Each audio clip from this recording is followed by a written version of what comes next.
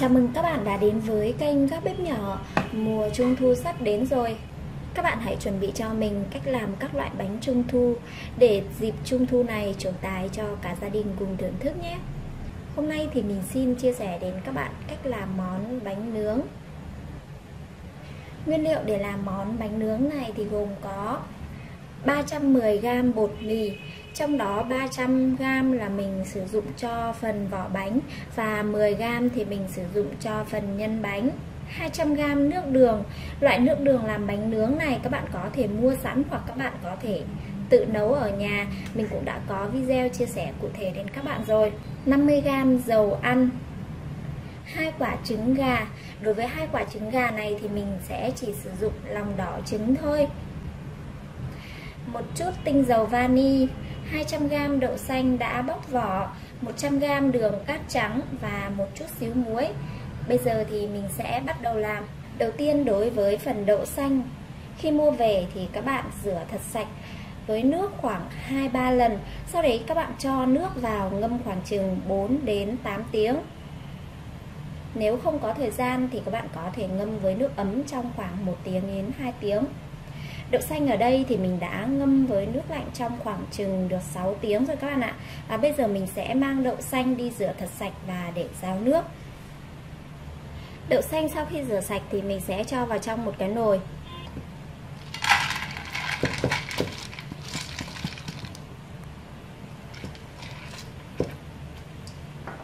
Sau đó mình cho nước vào.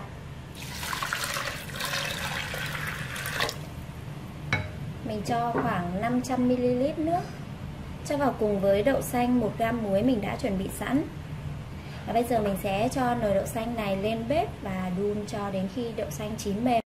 Khi nồi đậu xanh đã sôi thì các bạn để nhỏ lửa xuống và hớt bỏ bọt nếu có.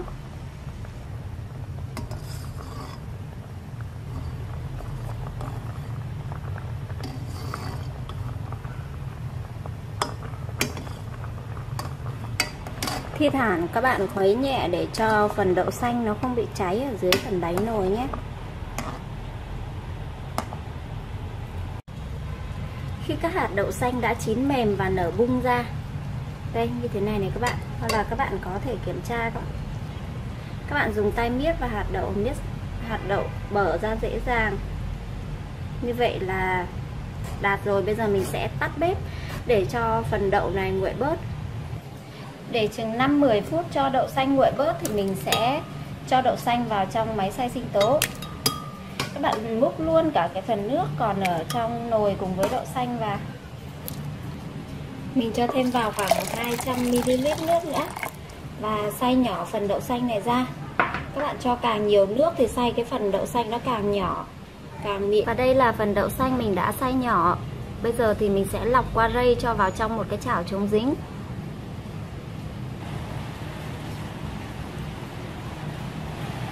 Cái phần đậu xanh mà mình thu được. Mình sẽ cho 100g đường mình đã chuẩn bị sẵn vào cùng với đậu xanh. Và mình sẽ cho lên bếp để mình xên nhé. Lúc đầu xên thì các bạn sẽ để lửa to, vừa xên các bạn vừa khuấy đều.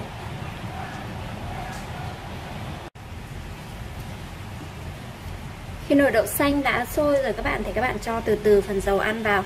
Các bạn chia dầu ăn ra làm 3 4 phần.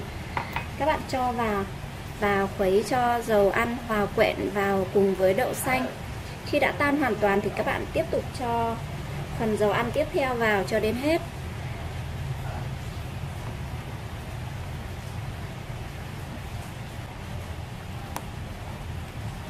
Đây, khi dầu ăn đã hòa quyện với cái phần đậu xanh như thế này mình lại cho tiếp tục dầu ăn vào.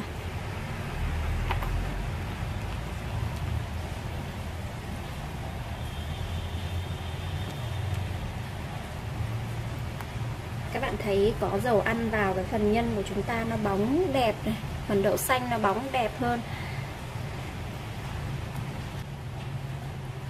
Các bạn lưu ý là khuấy đều tay cho đến khi nhân đạt.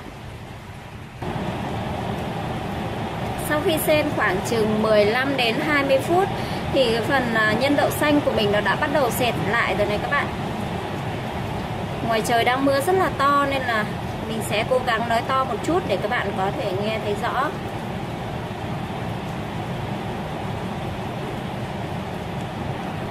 Đối với cái phần bột mì 10g bột mì mình đã chuẩn bị sẵn thì bây giờ mình sẽ cho vào cùng 40g nước. Và mình khuấy cho bột mì tan ra.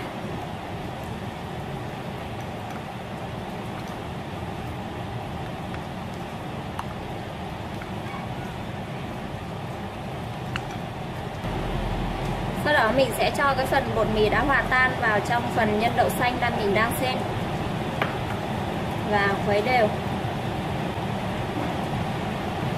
Từ khi nồi đậu xanh bắt đầu nó sôi ấy các bạn, thì mình sẽ xen ở lửa vừa nhé.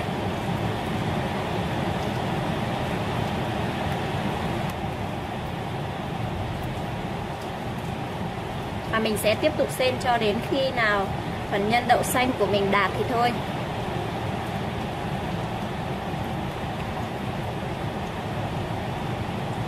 Đây là phần nhân sau khi xên khoảng 40 phút. Các bạn thấy phần nhân đã sệt hơn này. Và không dính chảo mấy nữa rồi. Bây giờ mình sẽ cho một chút tinh dầu vani vào.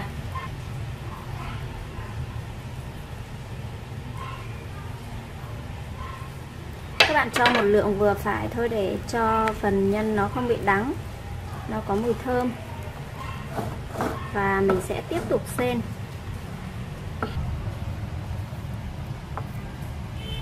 lúc này, phần nhân có thể gom thành khối được như thế này. Các bạn kiểm tra xem nhân đạt chưa bằng cách các bạn lấy một chút nhân này để tách riêng ra. Các bạn nhìn xem cái phần nhân này nó có chảy xuống hay không. Nếu nó giữ nguyên tư thế nó không chảy xuống thì là đạt, còn nếu nó vẫn chảy xuống thì là không đạt. Phần nhân của mình sắp được rồi đây các bạn. Mình xem thêm một chút nữa, chừng 5-10 phút nữa là được. Đây các bạn vắt nhân lên mà nó không chảy xuống thì là đạt. Như thế này là nó vẫn còn chảy xuống này. Đấy, đấy nó vẫn còn chảy xuống.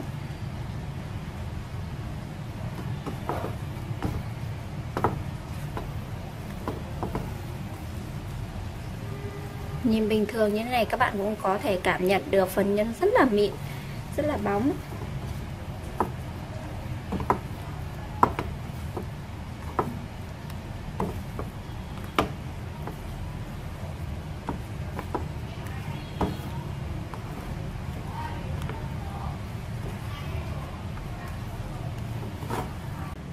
Đây là phần nhân đậu xanh mà mình vừa xên xong. Bây giờ thì mình sẽ chia nhân ra thành các cái phần nhỏ. Các bạn có thể chia nhân và bột theo tỷ lệ 73 hoặc 64 Hôm nay thì mình sẽ chia nhân và bột theo tỷ lệ 73 Mình làm khuôn 50g Tùy theo khuôn của các bạn to hay nhỏ mà các bạn chia nhân nhé. Phần nhân thì mình sẽ chia ra thành các phần là 35g và phần bột là 15g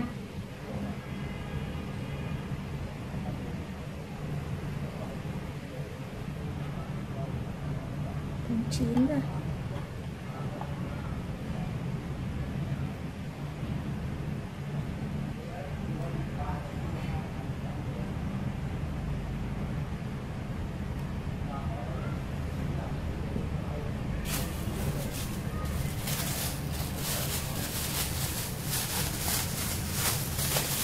Chia nhân ra rồi mình sẽ vo nhân thành các cái viên tròn.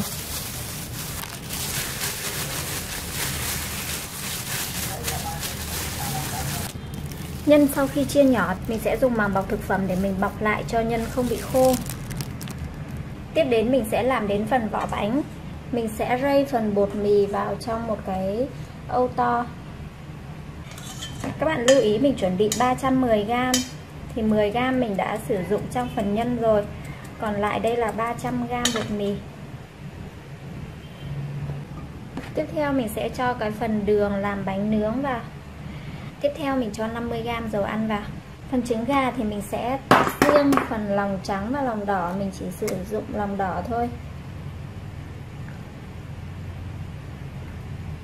Mình sẽ cho một lòng đỏ trứng vào cùng với bột.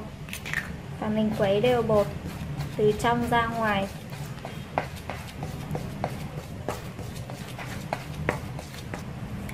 Rồi mình sẽ dùng tay để mình nhào bột. các bạn có thể đi găng tay cho nó khỏi dính tay.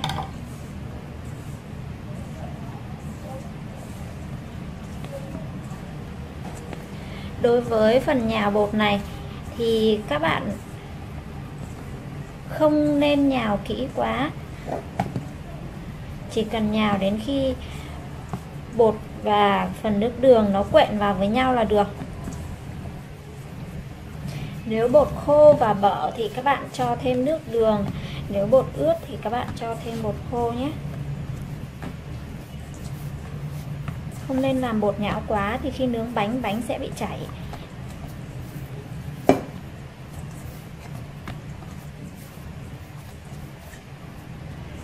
Bột của mình gom thành khối được như thế này là được này các bạn.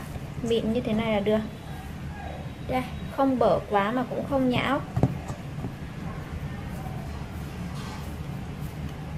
Có thể gom thành khối mà nó không bị bở rời ra. Như thế này là được.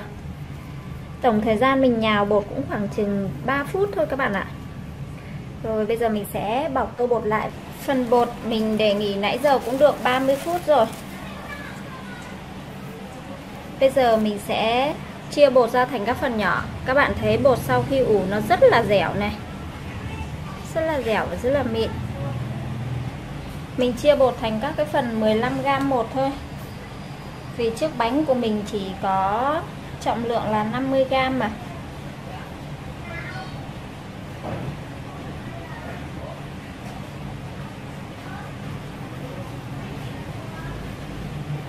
Đây mình sẽ chia bột thành các phần nhỏ như thế này. Đây là phần bột sau khi mình chia xong. Mình đã chia được 25 phần bột như thế này. À, theo mình thì à, nếu mà các bạn chia 35 35 gram nhân thì nên chia 25 gram bột để cho cái phần bột và phần nhân vừa khéo. Và bây giờ mình sẽ tạo hình bánh nhé. Cái phần bột này mình cũng dùng dùng màng bọc thực phẩm để mình bọc lại. À, làm đến phần bột nào thì mình sẽ lấy phần bột đấy ra thôi để cho nó không bị khô các bạn ạ. Đây phần nhân mình cũng bọc lại như thế này. Mình sẽ phủ lên trên bàn một chút bột khô sau đó mình lấy phần bột ra và cán thật mỏng. Vì phần vỏ ít hơn phần nhân nên là các bạn phải cán thật mỏng thì cái phần vỏ nó mới bao hết được cái phần nhân.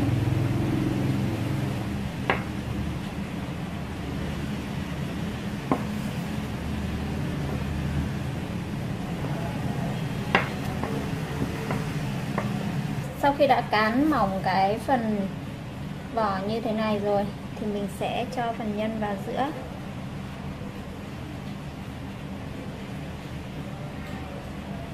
Các bạn úp ngược cái phần bột xuống và các bạn miết sao cho cái phần vỏ nó áp sát vào với cái phần nhân để nó không tạo lỗ hổng. Khi mà chúng ta nướng bánh, nếu mà nó tạo lỗ hổng thì cái phần bánh của chúng ta nó sẽ bị phồng.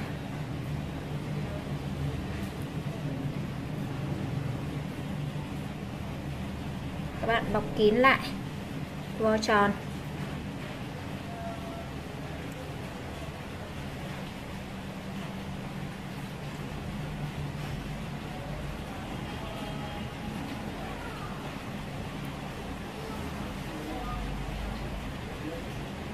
Như thế này các bạn. Và mình để qua một cái đĩa, mình cũng sẽ dùng màng bọc thực phẩm mình bọc lại để đến khi mà mình làm xong hết các cái phần bột này thì nó sẽ không bị khô. Tiếp tục mình sẽ làm các cái phần bột còn lại.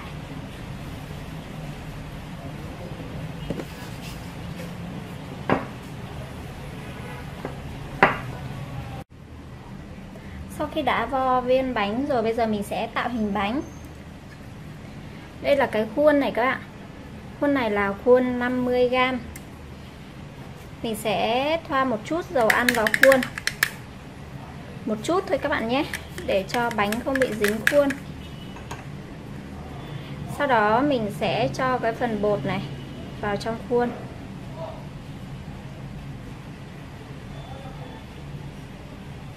Các bạn ấn xuống. Ở đây thì mình đã chuẩn bị một cái khay nướng bánh và lót lên trên khay một lớp giấy nến rồi. Bây giờ mình sẽ tạo hình chiếc bánh này.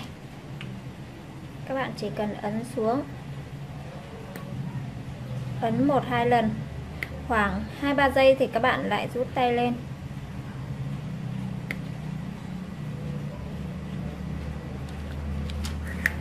Rất đơn giản là chúng ta đã có một chiếc bánh như thế này.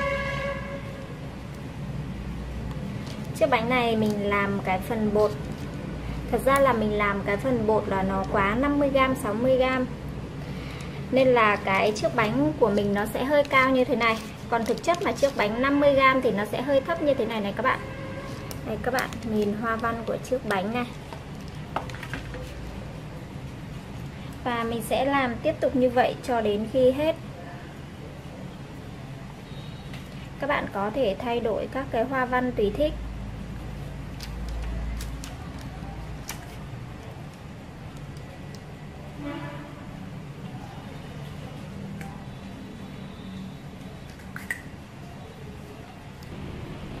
Và đây là phần bánh mình vừa tạo hình xong. Ở đây mình cũng đã tạo hình hai chiếc bánh 100g Bây giờ thì mình sẽ mang khay bánh này đi nướng. Trong thời gian nướng bánh thì mình sẽ chuẩn bị cái phần lòng đỏ để mình quét lên trên mặt bánh. Mình sẽ tách lấy cái phần lòng đỏ trứng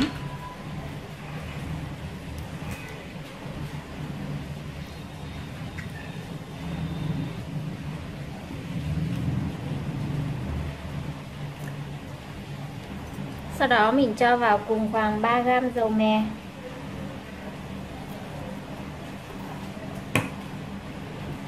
Khoảng 3g mật ong. Nếu không thích cho dầu mè và mật ong thì các bạn có thể cho thêm một chút nước và khuấy đều lòng đỏ trứng lên là được. Mình đánh đều lên để cho phần lòng đỏ trứng tan ra.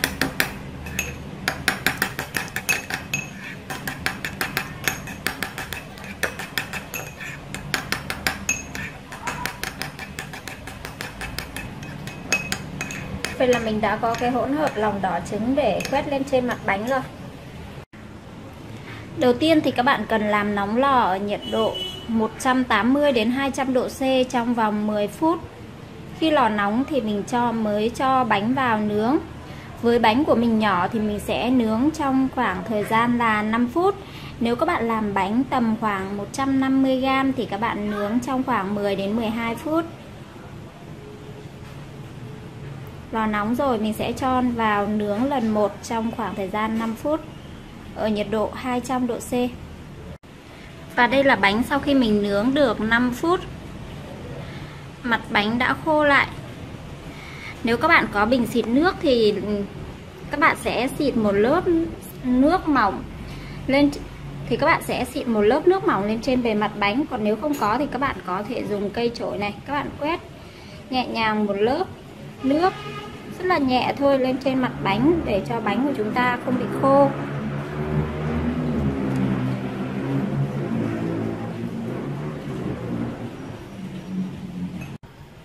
Để tầm 10 phút bánh nguội thì à, bây giờ mình sẽ quét cái lớp trứng lên.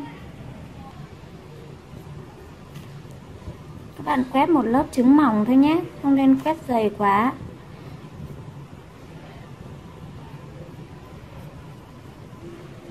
Các bạn lưu ý là không được để cái lòng trắng trứng nó động ở như các cái khe này. Mà mình chỉ quét đều lên trên bề mặt thôi.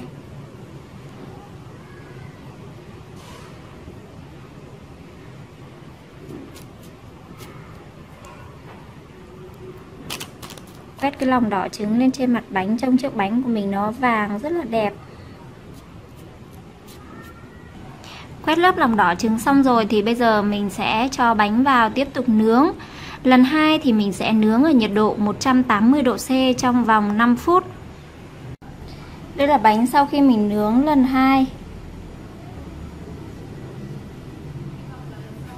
Mình vừa lấy bánh ra, bây giờ mình sẽ quét một lớp nước lên trên bánh, làm giống như là sau lần một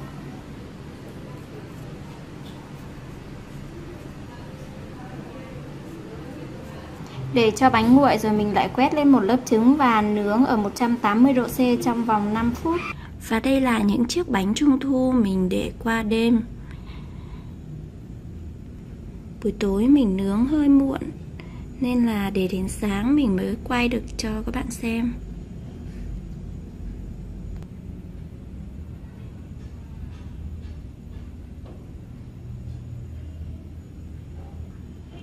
Bánh có màu vàng ươm rất là đẹp.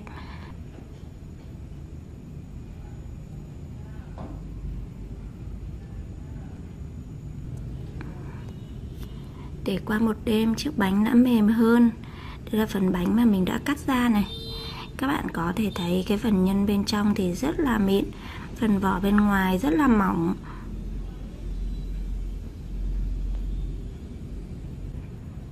Tùy vào lò nướng mà các bạn có thể căn chỉnh làm sao cho cái vỏ ngoài bánh nó chín hơi cứng một chút. À, thì mình sẽ để được lâu hơn. Vậy là mình đã chia sẻ đến các bạn cách làm món bánh nướng. Chúc các bạn thành công và có những chiếc bánh xinh xắn để làm quà tặng quà lễ trong dịp Trung thu sắp tới nhé các bạn hãy làm và chúc các bạn thành công. Hẹn gặp lại các bạn ở những video tiếp theo của kênh.